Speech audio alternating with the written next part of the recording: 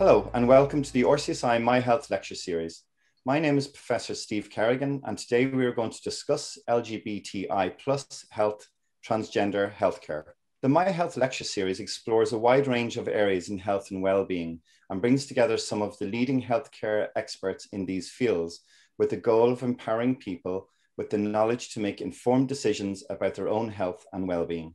Today, I'm joined by Dr. Seamus Duffy, GP and clinical lecturer at the Department of General Practice in RCSI, Dr. Caroline Kelleher, lecturer at the Department of Health Psychology, Division of Population Health in RCSI, Dr. Vanessa Lacey, Health and Education Manager at Transgender Equality Network Ireland, and Dr. Carl Neff, consultant endocrinologist and HSE clinical lead for the National Gender Service at St. Columcille's Hospital in Dublin to discuss this topic in more detail.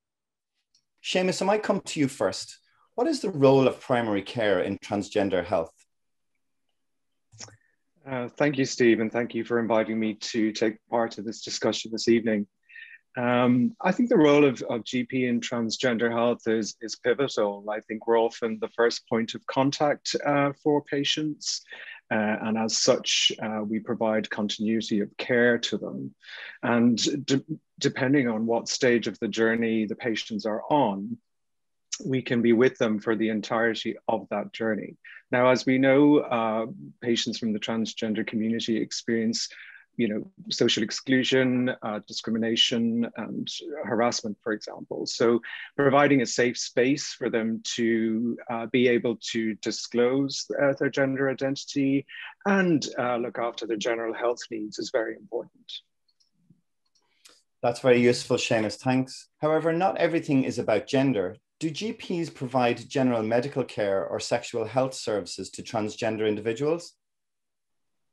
Uh, yeah, Steve, we, we do, and that's a, a, message that's often lost. I mean, GPs are there for a holistic approach to every patient, including general health, sexual health, and uh, there is a, a, term diagnostic overshadowing. I'm not sure if you're familiar with that, which suggests that oftentimes uh, healthcare providers can get uh, distracted by the sort of diagnosis or the mental health issue which is underlying the patient's presentation and sometimes miss uh, the other issues that are that they're presenting with. And you know, um, all patients ha have have lots of issues that need uh, general medical care, like lifestyle factors, preventative health, and in the context of sexual health, and I think we may touch on this later, uh, there is a distinction between um, sexual identity and gender identity, so or sexual orientation rather. So therefore, sexual health services do need to be provided uh, to this population as well. And that requires sensitivity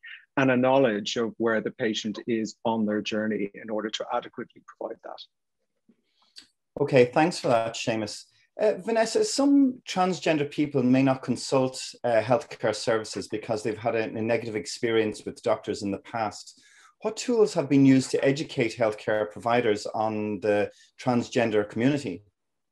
Yeah, I suppose with ourselves in, in TENI, we would have an approach that, um, and we're supported to do that through the um, social inclusion division in the HSE. We're funded to do that. So we provide uh, different levels of training, and that's a key aspect for us. Uh, at the moment, we're in the process of developing a HSeLanD training, so foundation training that lasts over a half an hour. So we already have our full days training, which is the transgender awareness training uh, which at the moment is cut down into two half days due to COVID. So we adapted our training. We adapted all our work, Steve, to be able to, to meet the needs of the healthcare professionals and our community during this very sensitive time.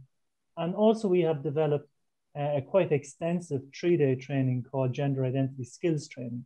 So, I suppose the three packages of training, uh, what we're coming through is absolutely the evidence base that, that's out there um, everything is based in research, so we would uh, deliver uh, the factual information to the healthcare providers.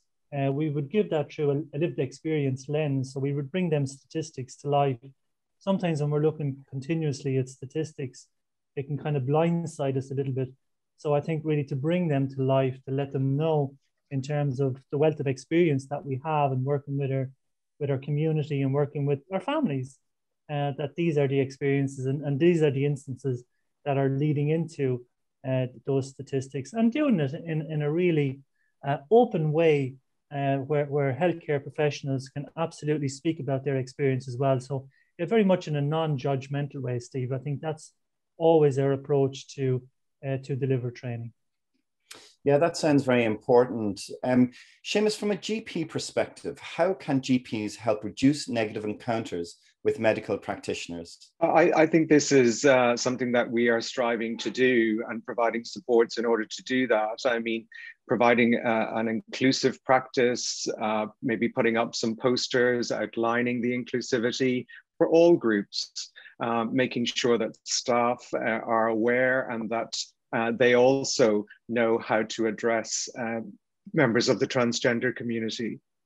And I guess from our perspective, it's around, um, you know, having a, a, frank and open discussion uh, with the patient and, and finding out uh, how they wish to be addressed. Do they have a particular name? Do they want to use a particular pronoun?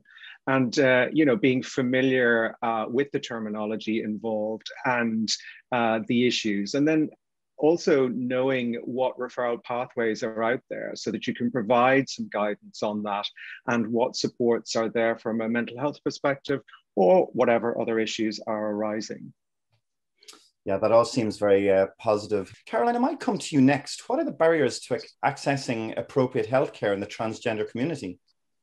Unfortunately, um, transgender individuals, um, being a vulnerable part of our population, often experience um, a lot of negative negativity in society, um, and that in itself can be difficult to try to access any kind. So if there's stigma, if there's um, harassment, if there's anything like that, it's going to make it a lot harder for somebody to actually reach out for some help. Um, there can be negative experiences um, when they contact health services. We certainly have data that shows that transgender individuals um, are sometimes received very poorly, and sometimes they're prevented from having treatment um, because of their gender status. And as well as that, because they um, have um, can be more vulnerable, more exposed to things like depression, um, maybe have some more um, issues around alcohol, drug abuse, all of that, that makes it very, very hard for them to reach out and get some kind of help.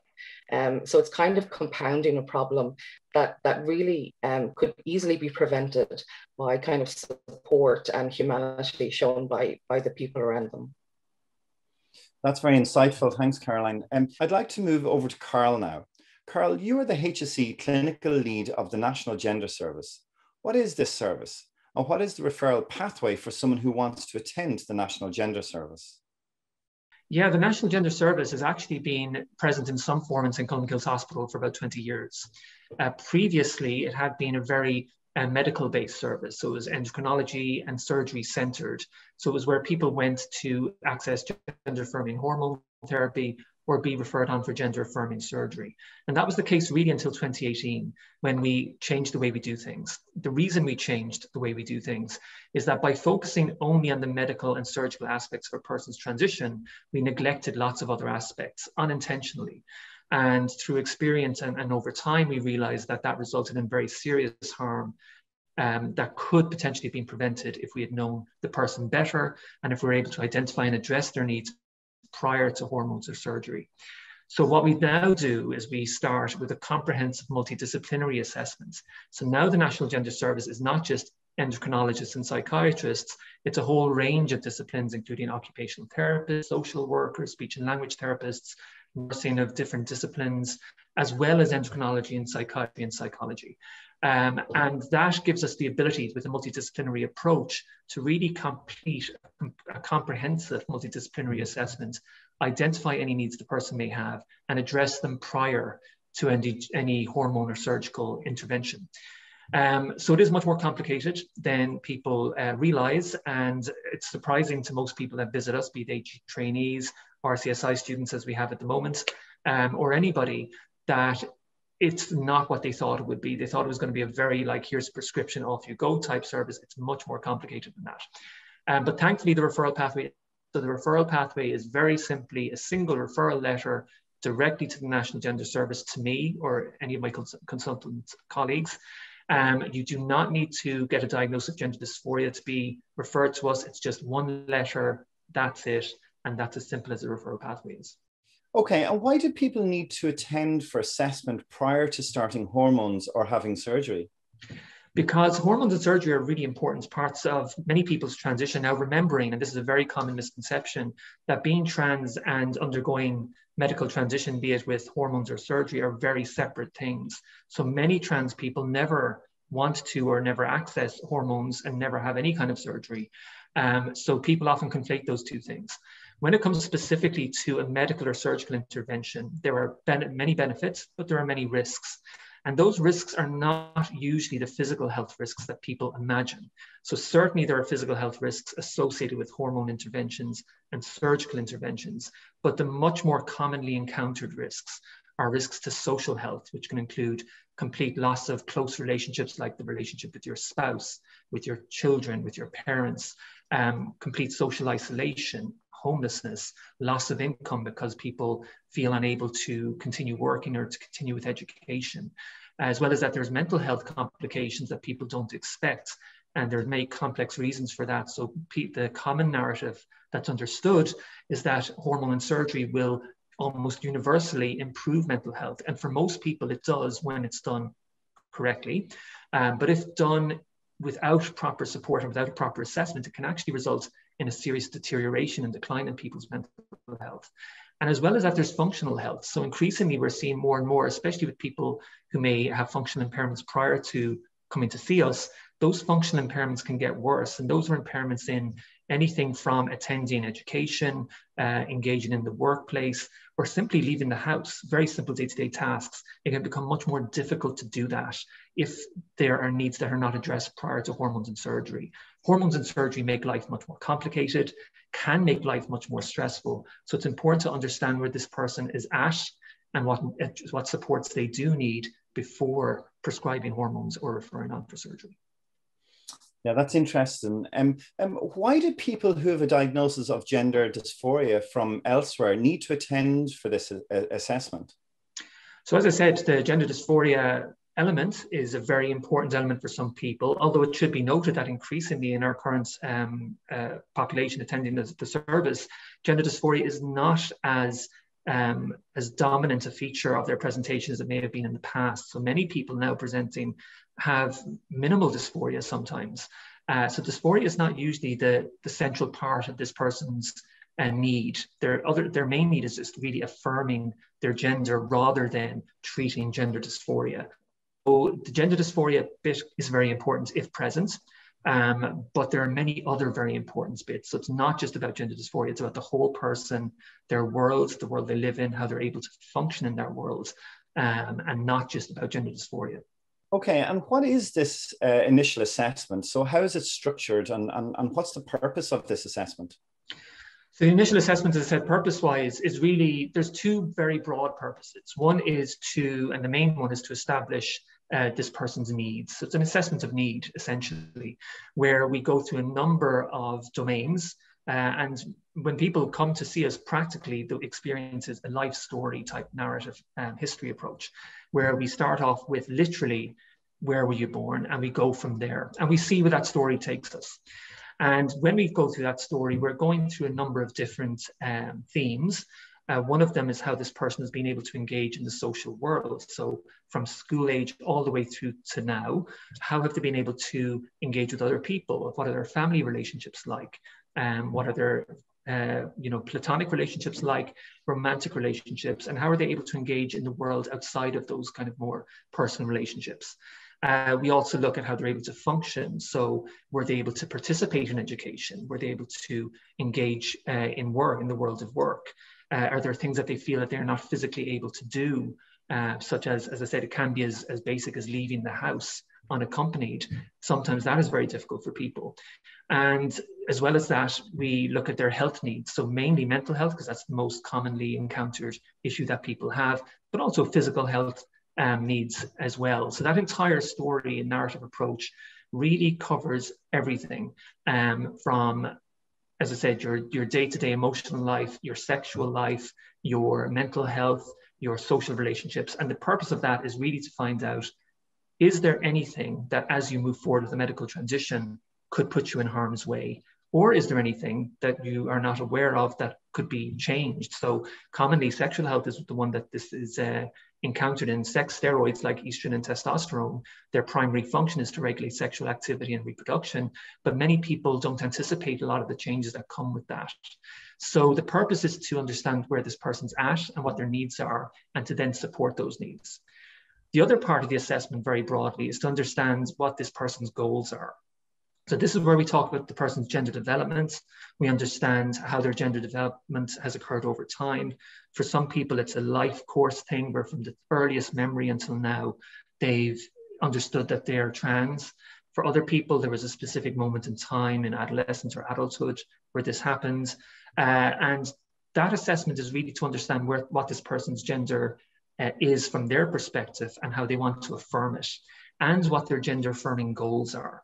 So what we're looking for is an understanding of will the help this person affirm their gender? And if that's the case, then great. And if not, then we give them that advice. Um, sometimes as well, we need to know that the person's gender is stable because a lot of people are very fluid, which is completely okay. But if you're somebody who's very fluid and you move through masculine and feminine um, times in your life, then sometimes an intervention that would be very affirming at one time in your life may not be affirming at another time. So understanding the person's gender identity in terms of how clear and stable it is, but also in terms of how the intervention will help them affirm that gender is really important to make sure that their um, the goals that they've set themselves are achievable. Thank you for all that very valuable information, Carl. Vanessa, can I ask you, is medicalization or medical intervention always necessary? Yeah, I think kind of Carl asked, uh, answered that question somewhat. I think in uh, previously, um, I, there's there's there's some many people who don't actually go under any medical interventions or need medicalization.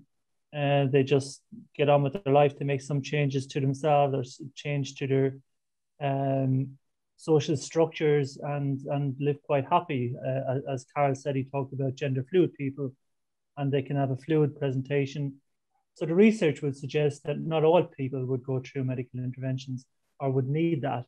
But at the same time, some people do. And some people need them, um, I feel they need them after coming out at whatever age. Some people come out at, at, at 16 years of age. Some people come out at 60 years of age.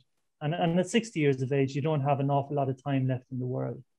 Um, often a, a, situation can be then, and the evidence would, would suggest this as well, uh, Steve, is, that um, very long waiting lists uh, can absolutely lead into me mental health difficulties as well. So it is a major problem when, when there is extended waiting lists for people to access this.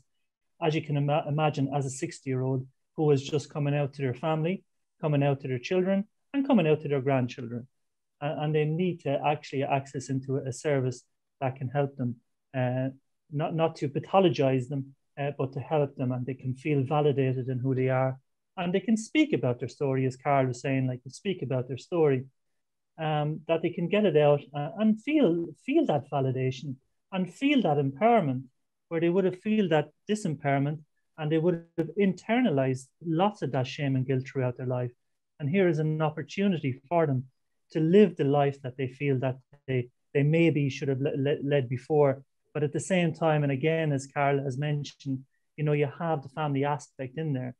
And certainly for us as an organization, Steve, we have worked with families since 2011. So uh, 10 years experience working with families. And we understand the nuances here to be able to support the family and support uh, the, the trans person themselves. So no, not all people will need to have medical interventions, but some people do. And the people that do will, will need that service and often that very long waiting list is majorly problematic uh, because not all people then will wait then three years to go see the National Gender Service. Some will go for online services, and that can be a, a problem if they're not supported in that way. So at this moment in Ireland, we do have a problem uh, in around access in healthcare and uh, for, for the people that need a medical intervention or feel that they need medical intervention. Great. And, and, and, Vanessa, the Irish College of General Practitioners has published the only guide to transgender healthcare inclusivity um, and pathways to national gender service. How can healthcare providers make practice visits more inclusive and more welcoming? Yeah, I think you know it's always good to have visibility. I, I, I gave um, a couple of talks already today in terms of a rainbow badge that CHI are bringing in. It's, it's wonderful to see uh, this rainbow badge. Uh, I think there was 4,000 people. I think we'll, we'll see that video that we, we made earlier on. And also in HSE Southeast, they developed a rainbow eye. So there's lots of rainbows going on, Steve, especially for we're in the moment of pride. So I think that visibility is really key. And to have that in um, GP surgeries and uh, other healthcare uh, professionals uh, surgeries as well, just to have that visibility, to feel that this is a safe space. I might be able to come out here. I might be able to. Not all people would say, I want you to use this pronoun. I want you to use this name. Or if a GP would say, Do you want me to use a different pronoun? Sometimes they shut down, you know, so it's not as simplistic as that. So I think between that, and I think really what, what, what I would urge, I suppose, is is health professionals in this area. I mean, this is a very short 35 minute uh, presentation and, and it's wonderful to have it, you know, but if you want to connect in with us and we'd be delighted to maybe signpost you to a training that meets your needs. So I think in terms of the visibility and in terms of the information. Great, they're really important points. Thank you, Vanessa. Um, Caroline, I'm going to come to you next. Creating a, a transgender affirming workplace and society is critical.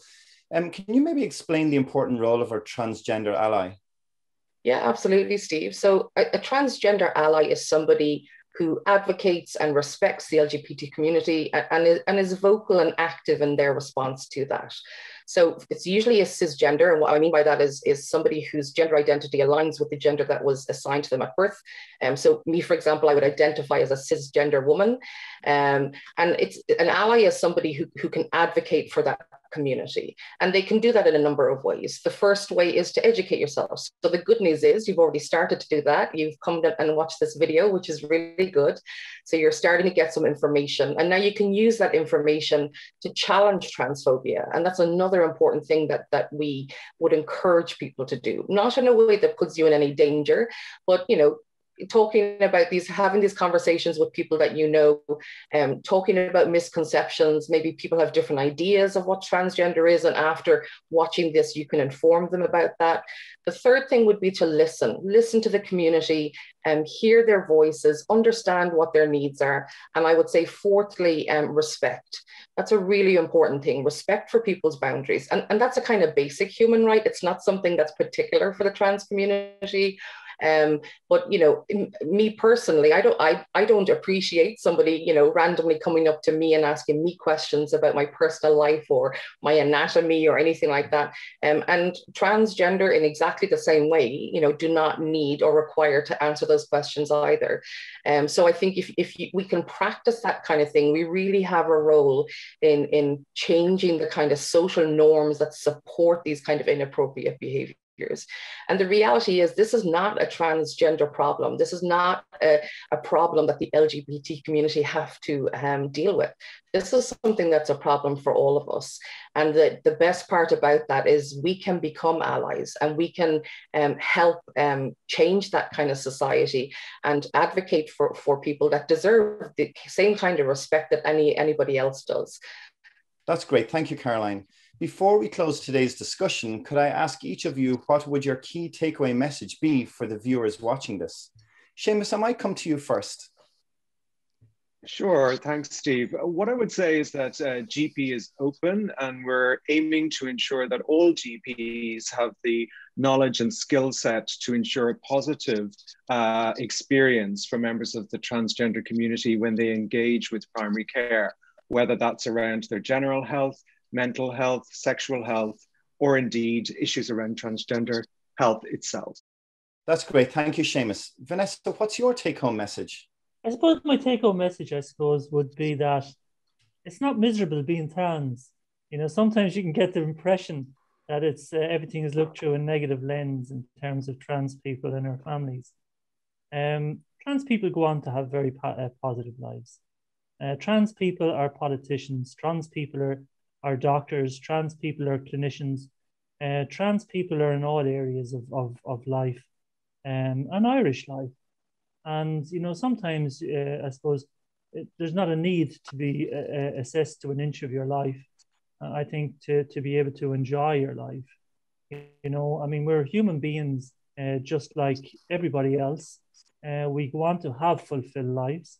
I, am very conscious that people who might be watching uh, this this wonderful program, um, whether they're whether they're family members or whether they're transgender people themselves, I suppose what I the message I would like to give them is, is to absolutely be your authentic self and, and seek that support and seek that affirmation and speak uh, seek that validation, you know, and you know for for for and from an Irish perspective, uh, you know, I would like to see certainly the services delivered to transgender people uh, to be much more trans sensitive and, and trans inclusive, uh, to be the services that we deserve that are in line with international best practice.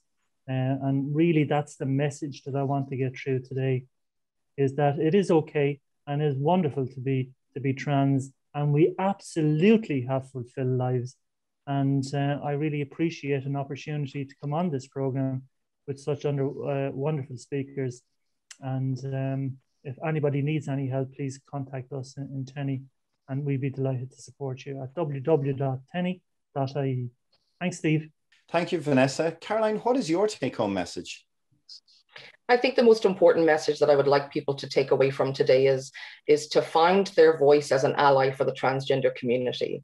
You know, a lot of the time people maybe lack the confidence, um, are afraid of causing upset or afraid of making a mistake.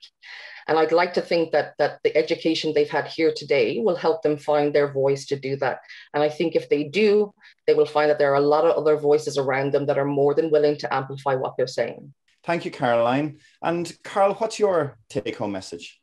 My take home message would be to anybody who is worried about trans healthcare, has questions about trans healthcare, uh, that they can talk to us. Trans healthcare is complicated. The pathways can seem very confusing, but we are more than happy to talk to clinicians, service users, or potential service users uh, and answer your questions. So please don't be afraid to contact us. You can email us, uh, phone us, and our website will be uh, live in the coming weeks. We hope it's been a bit delayed because of the cyber attack, and we'll have all of those resources available on the link uh, attached to this um, seminar. So that concludes our discussion today. My thanks to our speakers, Dr. Seamus Duffy, Dr. Caroline Kelleher, Dr. Vanessa Lacey, and Dr. Carl Neff. Links to any of the additional resources mentioned in today's discussion will be shared on the RCSI website. This is also the final lecture in the current My Health lecture series, but we will be back in September with another series for you to enjoy. My thanks to all of you, our viewers, for your engagement with this year's virtual RCSI My Health series. We hope you have found the topics and discussions of interest and that you've learned and discovered useful tools and techniques to help support and enhance your own health and well-being. Please visit the RCSI website for further information on previous and future My Health series events. From all of us here at RCSI University of Medicine and Health Sciences, thank you for watching, take care and stay safe.